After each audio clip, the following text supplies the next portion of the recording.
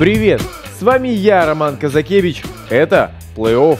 Вы узнаете о самых ярких событиях спортивной жизни нашего региона. Мы знаем все о спорте в Красноярском крае. Сегодня в программе интервью с серебряным призером чемпионата Европы по спортивной гимнастике Дарьей Окладниковой. Подводное плавание. В каких ластах плавать быстрее? На турнире .ру. Награждение лидеров межкорпоративного чемпионата. Красноярск – родина многих известных спортсменов. Здесь начинала свою спортивную карьеру серебряный призер чемпионата Европы по спортивной гимнастике Дарья Окладникова. Сейчас Дарья живет в Москве, но при любой возможности приезжает в родной город. В один из таких визитов спортсменка пообщалась с корреспондентом нашей программы. Серебряный призер чемпионата Европы, победительница игр Балтии, бывший член сборной России по художественной гимнастике, мастер спорта международного класса. Все это титулы и звания известной спортсменки Дарьи Окладниковой, уроженки Канска и воспитанницы Красноярской школы гимнастики. Даша ушла из большого спорта и переехала в Москву, однако родной город и связанное с ним начало спортивной карьеры девушка не забывает. А я как бы с детства была подвижная, суставы у меня были такие все гибкие. У меня был сколиоз. Немножко такой, ну, как у многих детей бывает. И вот тренер сказала по русским народным танцам, сказала, что вот приходите на гимнастику и там все исправят. Здесь же встретились с ее первым тренером. Сразу было видно, что это талантливый ребенок. То есть э, в ее э, в ней сочеталось все. Хороший прыжок, хороший вестибулярный аппарат. Девочка очень хорошо вращалась, высоко прыгала от природы. Э, у нее была идеальная на тот момент природная гибкость.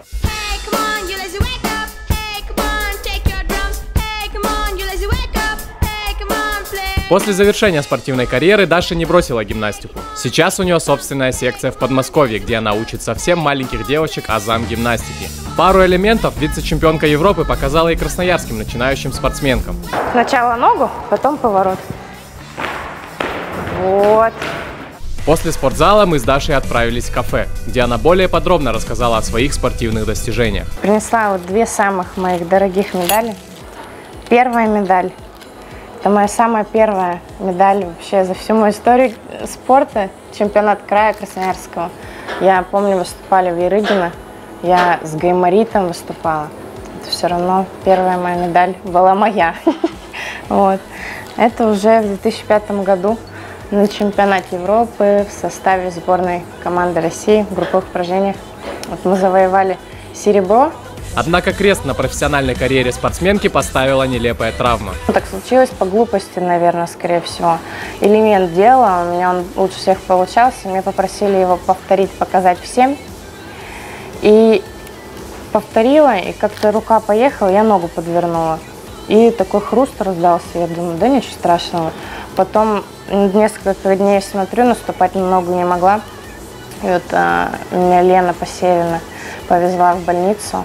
И у меня был перелом, и делали операцию. Шуруп у меня до сих пор уже стоит в ноге. И после операции так получилось, что полгода, пока я восстанавливалась, уже на мое место уже были другие претенденты, но как бы свя свято место пусто не бывает. Приезжая в родной город, гимнастка практически все свое время посвящает родителям. Признается, что Красноярск все же ближе ее душе. Ну, во-первых, тут у меня все родственники, все родные, близкие. Там, конечно, у меня в этом плане никого особо нет. А, вот. А вообще по ритму жизни, наверное, вот я вот позавчера за три часа столько дел успела сделать. Я даже была удивлена, и самое интересное, что даже не устала. В Москве уже съездишь в один конец города, уже думаешь, нет, все, домой. Даша не только лидер в спорте, но и душа любой компании. Ой, ну, мои друзья очень любят, что я всегда их смешу. Если они даже с самым плохим настроением приходят, я всегда что-нибудь им такое, не знаю, расскажу. Они всегда, всегда у них поднимается настроение. Вот такая она, Дарья Окладникова. Именно про таких говорят. Спортсменка, комсомолка, красавица. Кстати, насчет красавиц. 30 декабря ко мне подходит э, мужчина, но слегка подвыпивший, конечно, и, и такой говорит, здравствуйте, вы Вера Брежнева. Я думаю, ну ладно, чудеса должны случаться под Новый год. Я говорю, да. Он говорит, можно у вас автограф? Я говорю, конечно. написала что-то ему. Он пошел такой довольный. Первые соревнования по подводному плаванию прошли в Красноярске в 1960 году. В них приняли участие всего 7 спортсменов. За прошедшие полвека этот вид спорта обрел популярность, а количество участников соревнований выросло в разы. В этом убедилась и Юлия Анашкина.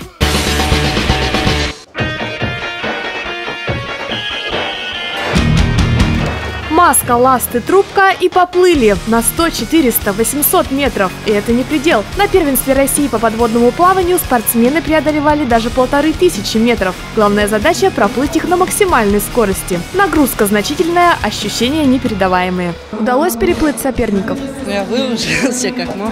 Такие дистанции на соревнованиях покорили около 200 спортсменов из 12 регионов России. Юноши и девушки приехали в Красноярск с одной целью – выступить достойно и стать участниками первенства Европы, которое пройдет в июле в Польше. Что говорить, если про команду Красноярского края? Э, Команда достаточно неплохо подготовилась к этим соревнованиям. Надеемся, что будет борьба. Вот. У нас наверняка будут победители. Я тоже на это надеюсь. Есть ребята очень сильные в отдельных видах программы. А виды программы были самыми разными. В зависимости от них менялся и стиль плавания, и скорость спортсмена, и экипировка. В дисциплине плавания в ластах используется вот такая большая ласта, которая одевается на обе ноги. Ее гребущая часть состоит из стеклотекстолита, прочного и гибкого материала, который позволяет спортсмену плыть как дельфин. Плавание в стиле дельфин самое быстрое, так как левая и правая части тела здесь совершают симметричные движения. Достойный результат в этой дисциплине показала красноярская спортсменка Аня Харина. Девушка проплыла 100-метровую дистанцию за 51,37 секунды и в итоге завоевала бронзовую медаль. Результатом Аня довольна, но останавливаться на достигнутом не собирается. Соперница была ну, настолько сильная, я бы за ней не, не утянулась. То есть она как бы намного лучше меня плавает.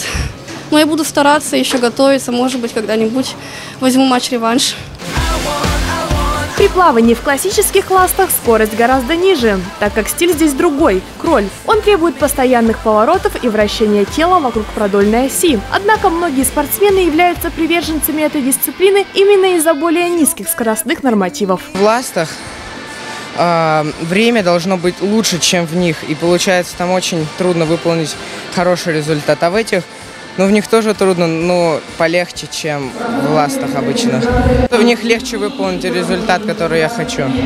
А некоторые спортсмены показывают блестящие результаты и в тех, и в других ластах. Так красноярский пловец Вячеслав Попов стал сильнейшим в обеих дисциплинах на 100-метровой дистанции. Теперь в руках нашего спортсмена две золотые медали. Это годы упорных тренировок, наставлений, настрой. Надо тренера слушать и задания выполнять.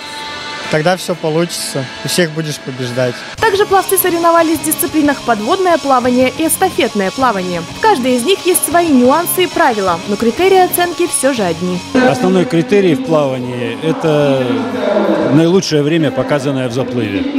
Соответственно, победитель – это тот, кто показал ну, наилучшее время. То есть также оценивается правильность прохождения дистанции. То есть, допустим, плавании в ластах запрещается заныривать на дистанции. Наша сборная продемонстрировала прекрасную подготовку. И теперь можно с уверенностью сказать, что красноярские пловцы – одни из самых сильных в России. Желаем им достойно выступить и на международных соревнованиях. Будь по жизни как рыба в воде, смотри плей-офф и будь в форме. Мы уже не раз рассказывали об участии команды плей-офф в межкорпоративном футбольном чемпионате. Напомню, что по его итогам мы заняли почетное третье место, пропустив вперед команды молодежного центра «Дивный» и «Бара Облака». Какая награда ждала призеров, узнаете прямо сейчас. Футбол пати – это традиционное мероприятие. Однако в этот раз наша съемочная группа на нем заслужена. Ведь плей-офф собрал свою команду и принял участие в турнире, став его призером.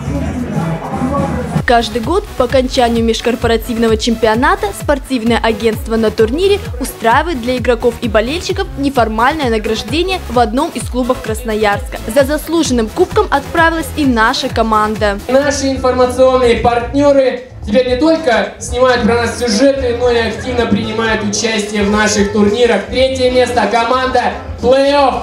И это еще не все наши достижения. Футболисты плей-офф отличились и в личных номинациях. Лучший защитник команды плей-офф Левник Максисян.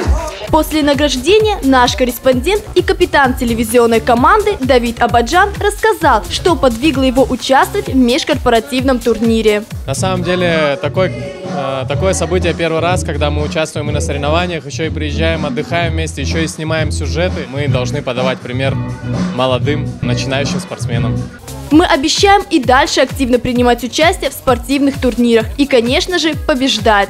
Всегда мечтал сказать эту фразу сам, а не просить кого-то другого. Смотрите плей-офф и будьте всегда в форме. На этом все.